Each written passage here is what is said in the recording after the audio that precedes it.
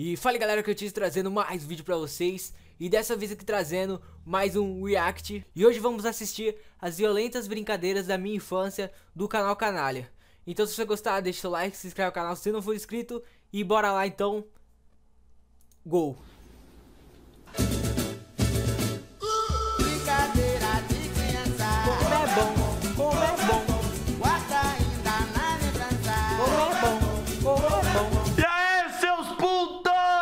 esses dias eu parei pra pensar. Tem coisa que adulto vê maldade aonde criança não vê. Você já parou pra pensar que você brincava de esconde-esconde, de pega-pega, de duro mole, de pega-vareta? É safadeza oculta. Ô pai, eu posso na rua brincar de pega-pega, de esconde-esconde e de duro mole? Vê se não vai esquecer a camisinha. Seja no mínimo responsável. Óbvio, né? Que tinha umas brincadeiras que era mais saudável, tipo polícia ladrão. Vai, filha da puta! Encosta, pode tirar esse espinho do bolso, caralho! Eu não gosto muito de polícia ladrão, sabe? Porque foi uma, uma, das poucas brincadeiras que eu não tive a oportunidade de brincar. Porque assim, eu nasci em Osasco, né, mano? Aqui a brincadeira é diferente, a gente brinca de ladrão e ladrão. E criança, ela é muito competitiva de natureza. Sabe aqueles moleque criado em condomínio que nunca desceu pra jogar uma bola e perdeu o tampão do dedo? A minha minigame é bem melhor que o seu. Cala sua boca, o meu é muito melhor que o seu. Cala a boca que o seu pai não tem nem o celular. É, vai, cala a boca, o carro da sua mãe é mal feio. Imagina se uma criança leva toda essa competitividade pra uma brincadeira de infância. Tem vezes que a criança não sabe a hora de parar. Rony Nelson está desaparecido há 23 anos desde que se iniciou uma brincadeira de esconde-esconde. Segundo os vizinhos, foi neste poste aonde tudo começou. Depois que aconteceu isso, ninguém mais veio brincar aqui no nosso bairro. Inclusive, tem um que tá procurando até hoje lá, ó. É um mais competitivo que o outro. Ele tá há 23 anos guardando o caixão, ó lá. Ei, Rolina, você tá onde, chapa? Aí, tio, eu vou te achar, chapa. Você tá onde? Tendo louco, hein, mano? 23 anos. Puta que eu pariu. Aí você para e pensa, ah, guardar caixão é a pior gíria da infância. No Yu-Gi-Oh! tinha gíria que era muito pior. Gruds. Nossa. Yu-Gi-Oh, velho. Eu tenho até hoje uma caixa cheia de carne. Não, aí tem nem papo. Isso aí é Volts. É Volts e Donados. Quem, quem que inventou essa gíria? Sei lá, foi o Mussum? Cacildes. Eu não lembro exatamente se era nessa regra que eu falei do vídeo. Eu sei que se eu errar vai ter um monte de gente. Ai, tá falando errado. Só que eu não tenho uma criança que roteiriza meus vídeos, entendeu? Mentiroso! Escrever, porra! É o que, que você tá falando aí? Yu-Gi-Oh! não é de bater, é de duelar?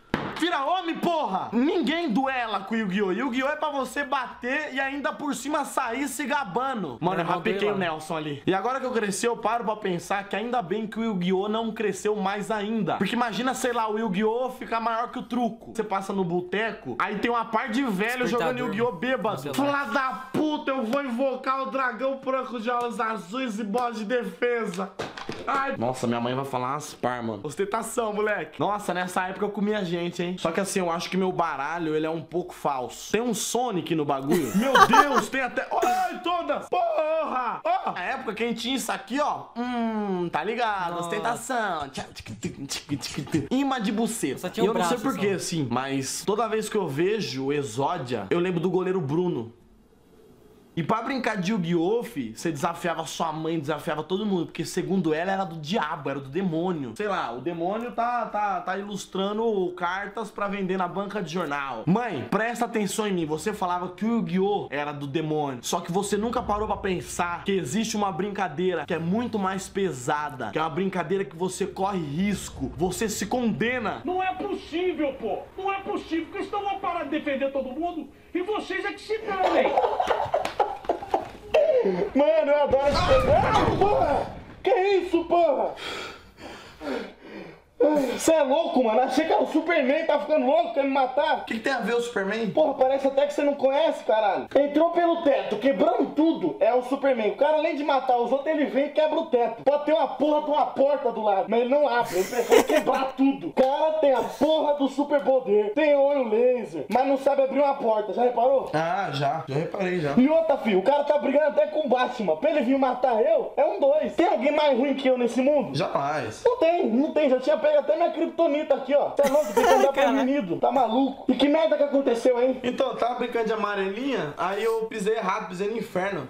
Puta que pariu, eu já falei. Quando for brincar dessas merda, pega e tira o inferno. Coloca só o céu, os números e o céu. O que, que eu tenho a ver com isso? Nada. Aí agora, ó, olha o prejuízo que você me dá. Toda semana é essa merda cai desgraçada aqui, ó. O pedreiro vai ficar puto. Cê é louco, mano, brincar de amarelinha, o bagulho é pesado. Pra mim, brincadeira boa tinha que ter violência. A minha brincadeira favorita era o passou levou. Você pegava uma bolinha ou uma tampa de Nossa, garrafa, uma porrão, lata. aqui é e se você passasse isso no meio da perna do seu coleguinha, você tinha o direito de espancar ele sem ele poder revidar. Isso era a melhor coisa do mundo. E era da hora porque assim, por exemplo, tinha 10 pessoas brincando. Se a bolinha passasse em mim, eu ia apanhar da escola inteira, porque na hora que todo mundo gritava passou, vinha todo mundo bater nessa trave. pessoa. Vinha a diretora, vinha a inspetora, tia da limpeza, tia da cantina. Um linchamento coletivo era a minha brincadeira preferida. Hoje em dia tudo é bullying. Ah, é bullying. Ah, passou levou é bullying,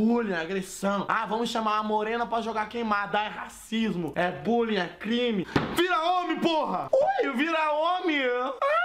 Vixe, agora eu dei pinta mesmo, hein? Fiquei até com medo, arrepiou lá. E agora que eu já toquei no assunto, eu queria entender por que, que toda tia da merenda tem uma teta grande. Só que não é uma teta grande, bonita, gostosa, não, é uma teta imensa. Se ela fizer um ultrassom na teta, vai dar gêmeos. Se ela pular, ela dá mortal automaticamente. A tia da merenda começa a fazer comida, ela vai lá fazer um suco, bota a laranja no liquidificador, a teta entra junto, bate junto. Ela faz arroz, a teta passa em cima do arroz. É por isso que na minha escola só tinha grão de bico.